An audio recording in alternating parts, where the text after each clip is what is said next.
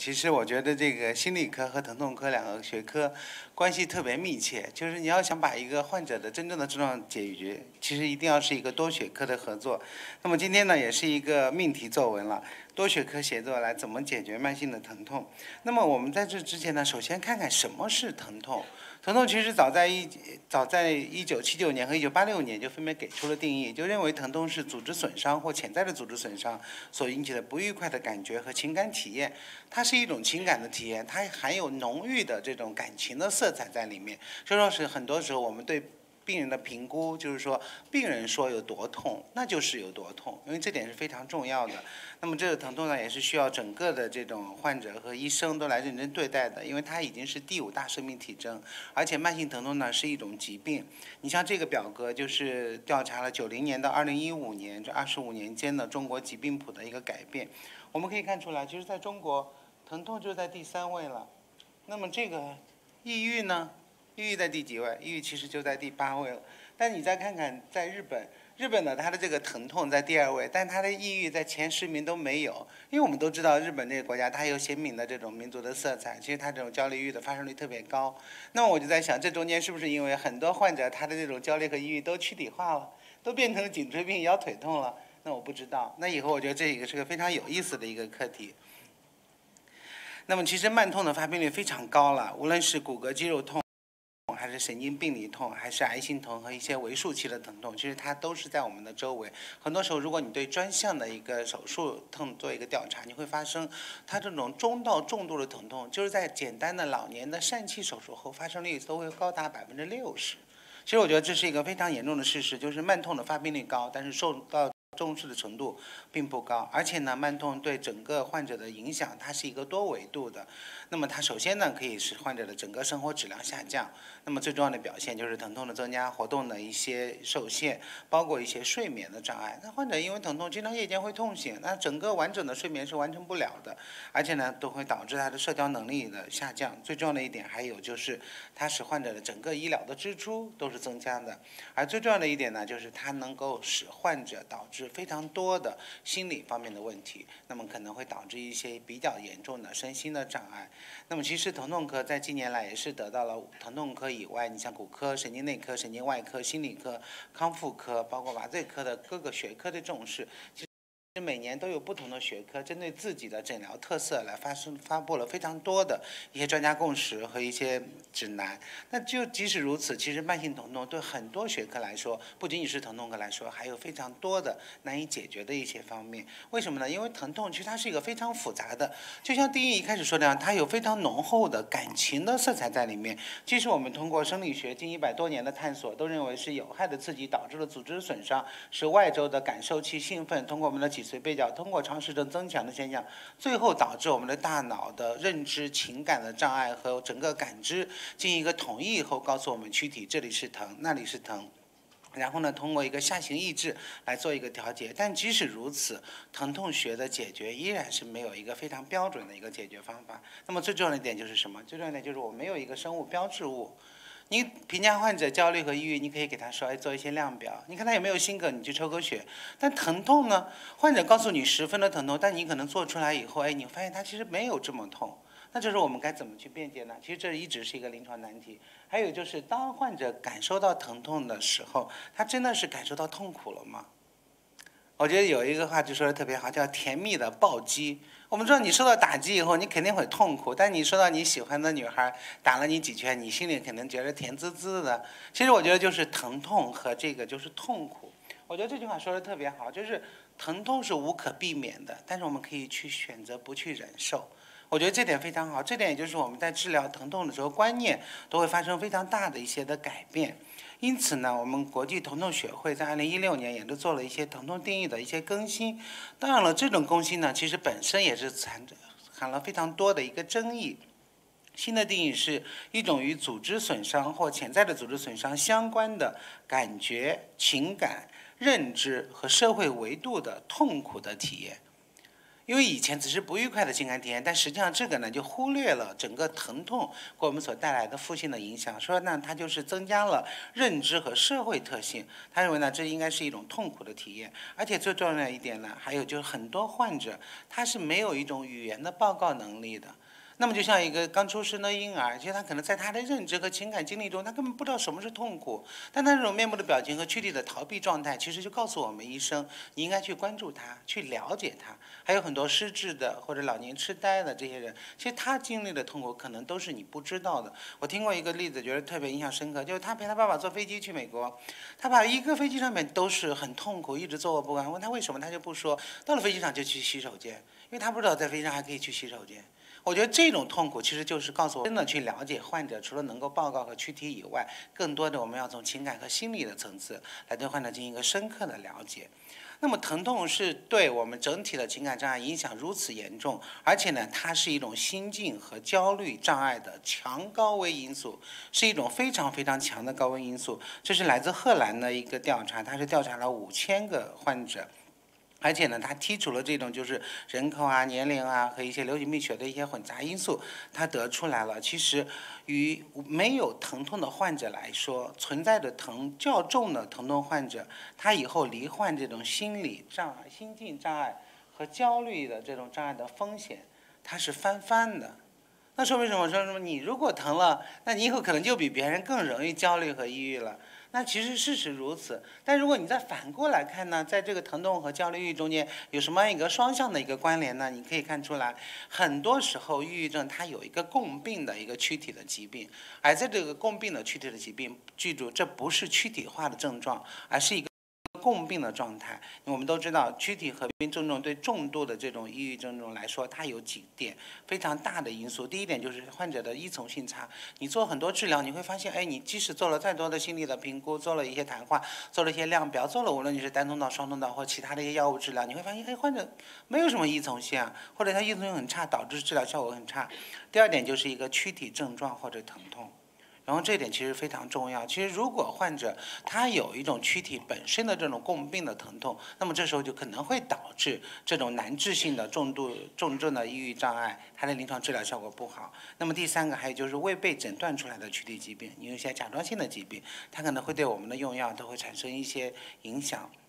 那么这是常见的抑郁症共病躯体状态的管理。其实我们都知道，有时候共病。的抑郁比例较高的这种躯体疾病，比如我们说的阿兹海默癌症或者其他的一些疾病，那么在这中间呢，其实慢性疼痛呢，它就是名列第六位的，就说明什么？说明其实我们在对患者进行一些心理的障碍的识别的时候，我们要一定注意一个共病状态的诊断。和鉴别诊断，而且这种管理呢，其实它已经有从生理学和神经解剖学上面是得出了很多结论。你比如最重要的就是一些炎症因子或者是一些肿瘤坏死因子，它和这种疼痛密切相关。那么基于此呢，其实我们疼痛学也有很多专家都做了一些研究。你像这个研究，我觉得这个就比较有意思。哎，我看这个研究到哪里去了？大家在后面。那么这种抑郁。症共病躯体的这种管理呢，其实呢就是说明疼痛的存在，它是严重的影响了抑郁症的诊断和治疗。而且这种诊断和治疗呢，就是说，你除了诊断它会对你进行一些干扰以外，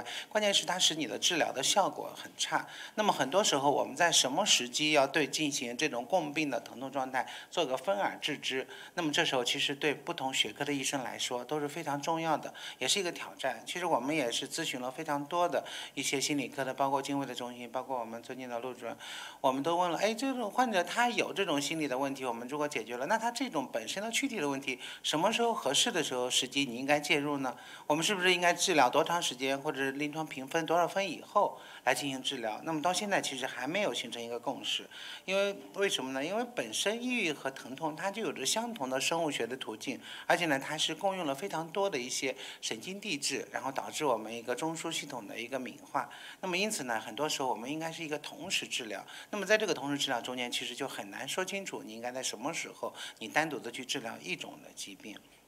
我们可以看看这个症状，就可以看出来，常见的很难不明原因的躯体化的疼痛叫 UPPS，它主要是包括紧张性的头痛、纤维肌痛和肠易激惹的综合症，而且呢，它是发病率是非常高的，你像最高的可以达到百分之七十七以上，而且呢，这种呢就是不明原因的疼痛，它本身有一定的特点，那么它这种特点呢，其实就是它有自己独特的这种生物学的机制，它可能和我们常。这通常认为的这种焦虑、抑郁或者是疼痛呢，它是完不是完全一样的。那么可能和我们这个体内的脑功能网络的异常、五羟色胺的降低，或者是去甲肾的通路异常，以及一些细胞因子的改变都有密切的关系。那么很多时候呢，这也都有非常多的研究对这进行了一些探讨。它认为有一些高危因素，你比如女性啊、教育比较低、失业、年龄较大，就可能会导致这些共病状态的一个存在。那么这是一个比较简单的表格。一般来说，它这种就是 UPPS，它是。一般来说，常规的呢是在什么部位？而且呢，它的临床特点呢有什么？你比如 BMI 指数比较高啊，或共病的躯体疾病比较多，或者女性啊，或者是年龄偏大等一等。那么这种呢，就是做了一个这种流行病学的分析以后。就是说，我们就可以得出一个结论：当我们在针对这种共病状态的时候，应该是保应保持一个什么样的态度？其实呢，首先就是第一要明确诊断，第二呢叫分而治之。因为这点呢，其实非常非常重要的。就是说，当你在治疗一方面，你只希望用一些药物来改善他这种躯体化的疼痛，或者你所诊断的这种躯体化的疼痛，其实这时候对患者来说，它是一个非常不理性的一种治疗策略。因为这时候他的这种疼痛可能是一个独立存在的一种慢性疾病，他有自自己和焦虑和抑郁相类似的这种就是发病机制，但是它还有自己独特的生理和病理学的改变。那么如果你单纯的做焦虑和抑郁的治疗，那么很有可能临床治疗效果就不好，而且呢会导致整个治疗的结果呢就比较差。那么这个疼痛呢，它如果和其他的心血管、呼吸、内分泌的疾病来相比，你会发现它呢是一个独立的预测因素，它的这种高风险性和其他呢它是没有相关的。我们我是说这种焦虑抑郁的这种治疗效果，它跟心血管其他的不相关，而疼痛呢就可以做一个独独独立的一个预测因素。那么它和其他的几个疾病对这整个的焦虑和抑郁的影响是没有一个直接关系的。因此呢，我们可以这样得出一个结论，就是抑郁和疼痛，它都是互为发病的一个独立的预测因素。就说如果你单看疼痛来说，你可以发现，你随访两年后，你会发现，哎，疼痛它可以作为焦虑易发或者反复发作的一个预测因素，而且呢，它有非常密切的相关性。那么反而。反之，那么焦虑和抑郁也是疼痛多发和反复发作的一个独立因素。因此呢，这两点确实这两个疾病呢，它是有着非常密切的一个临床的关系。那么它的生物学机制其实也是非常非常复杂的。就像我们刚才所说的，除了和这种细胞因子啊、脑网络，其实它和这种就是中脑导水管周围的灰质，或者和这个延髓头侧、腹内侧和这些整个脑区的头地都有密切的关系。那么现在科学呢，也都是证明了非常多的这样。之间的关联，如果我们从这种就是疼痛的解剖学学上来看，可以看出来，我们疼痛最慢性疼痛发作最多的就是一个神经病理痛，它从损伤和自己的本身的基因学特点、损伤的类型，最后一直到外周和中枢的敏化。都可以看出来，它最终呢是涉及到我们整个大脑中枢的一个改变，而在这个过程中呢，脊髓背角它是最初步的来对这个通信号进行一个感知。此外呢，它就是到了这个丘脑，丘脑呢它是第二个这个疼痛的这个信息处理平台，它是讲认知和情绪信号，它做一个有机的结合。我们可以看出来，其实在我们的整个脑区，我们。执行情绪、进行决策、进行认知的脑区，其实都对疼痛呢，它有一个感知的作用。那么这么复杂的一个过程，你可以发现躯体化的症状和抑郁的状态，它是共享了神经的回路和一些神经的递质的。你比如可以，我们就举一个例子，因为这脑区其实太复杂，而且呢，你来自不同的研究，它最后都得出不同的结论。就举一个这个前额叶的皮质，前额的皮质它其实就是心境低落。他是注意力不集中。其实呢，前额叶的这种，它不仅仅是这种，就是心情低落、注意力不集中、计算能力和决策能力下降，它还对你的整个的疼痛的感知也有一定的作用。因为我们疼痛呢，它是两条上行通路和一条下行通路，其实它都是跟我们的神经递质、五羟色胺和去甲肾上腺素水平在脊髓背角的水平是密切相关的。所以有很多同很多人，哎，他吃了一些多洛西汀或者什么，他第二天就告诉你，我。本来疼的我腿疼啊，肩膀疼，我现在一直都不疼了。其实我觉得它不仅仅单纯的就是改善我们的整个大脑中枢的这种作用，其实它本身对慢痛或神经病理痛就是有个病理性的一个改变的作用。那么所以说呢，我们这个滕同学，这是我们新华医院的兼职的 PI 做的一个研究。是去年发表的，哎，他就是对脊髓背角的这种肿瘤坏死因子做了一个这个就是呃实验，他会发现，哎，做了这种补充了美剂以后的这种大鼠，它肿瘤坏死因子水平下降以后，那么它。被抑制以后，它在脊髓背角上面的神经元的肿瘤坏死因子是上调的。它本来的这种强迫游泳试验，这种做过化疗以后的老鼠，它游几圈它就不游了。为什么呢？因为它是模拟了这种慢痛和这种焦虑抑郁状态。哎，做了这个补充以后，哎，他发现它就不停的游，不停的游，不停的游，就说明什么？说明其实这种肿瘤坏死因子在这整个的神经递质中呢，也是起到了一个非常。作用，这是我们新华医院做的一些研究。哎，我们就是刚才所说的前额叶皮质，还有它的顶气叶，它这正常人都能够被这个赌博试验所激活。我们给他做一些爱荷华赌博试验，认知功能，哎，他能从我们这个实验中心赢一百块，赢两百块。但是这种慢痛的病人，你像这种就是膝骨关节炎的带泡的病人，他就。根本就赢不了一分钱。他说我做一次我就不做了，为什么？他说我老输给你钱，马医生，你赢了我的钱还要拿这个机器在我头上扫来扫去。那实际上你这样做出来的区别就很有意义。这个文章呢，今年也都发表了。其实做了三四年，那么今年、明年、后年可能都会有文章的发表，就说明我们的大脑中枢在这整个的认知和情感的举行、情感的决策和这种就认知功能中都起到了一个非常重要的一个作用。而且呢，这时候慢痛呢就会导致我们的情感感知。决策的系统发生一定的改变，那么这种躯体疼痛的缓解和抑郁症状的缓解，其实它是存在的一个双向的作用的。就像刚才我说嘛，你如果做一个完整的队列的分析，你会发现疼痛的缓解或者加重，它和抑郁的缓解和加重，它都是各自独立的预测因素。你如果是一好则好，就易容则容，易易损则则损，其实就是这样一个相互的观念。所以我觉得通过这几个研究，我们就可以看出来，哎，疼痛好像和抑郁，它这个关系特别特别的密切嘛。那他们是不是就是天生的一种共病，或就是，索性他们就是同一种疾病吗？那么其实我们来看看这个例子就比较特别有意思。我们都知道我们这个膝骨关节炎的发病率特别高哈，那这真的老了，你的膝关节肯定会痛。你总有一天你是不能打篮球了，你上楼梯下楼梯都会痛。那么这个就是。美国的风湿病协会，他们就出了一个特别有意思的一个结论，他们就是做了十三周的三十到六十毫克的多洛西汀的治疗，哎，他认为这个治疗膝骨关节炎是非常非常有效的，甚至他都把他们这个治疗写入了这个类风湿治疗骨类风湿美国类风湿协会治疗骨关节炎的一线的药物。哎，为什么是会这样？因为我们都知道，一般来说，骨关节它都是一种炎性的疼痛了，就是老化蜕变、关节软骨、关节的骨化以及关节囊的发炎导致的疼痛。但实际上呢，就是很多认为它并不是一种单纯的这种炎性的疼痛、伤害性的疼痛，它其实呢是因为导致了一个周围整体炎症，甚至是会导致我们脑功能一认认知的障碍下降，或者导致我们心血管的脂质的这种障碍，导致的心血管的这种冠心病。其实呢，它是一种神。神经病理痛，它更多的呢是一种身心的障碍。它首先呢是一种神经病理痛，然后它又是一个复合性的一个机体的蜕变。所以说呢，它对这种多洛西汀它才有效果。其实我们国际疼痛学会的指南对这种药物的治疗，你会发现我们疼痛科所有的治疗，带状这带状疱疹也好，手术后疼痛也好，或者其他顽固的解痔后、解单后的疼痛，哎，它一线的药物除了我们说的不是八联胶苯酊、三环类的抗抑郁药，我们这种多洛西汀。维拉法辛单通道的还有双通道的一些药物，在很多的指南中间都是神经病理痛的一线用药，说明什么？说明其实对这种慢性的疼痛和一些焦虑抑郁状态，它两种疾病其实是各自独立的疾病，但是它部分呢共用了相类似的发病的神经病理学的基础，而且呢，他们对同样的一些药物，尤其是对这种。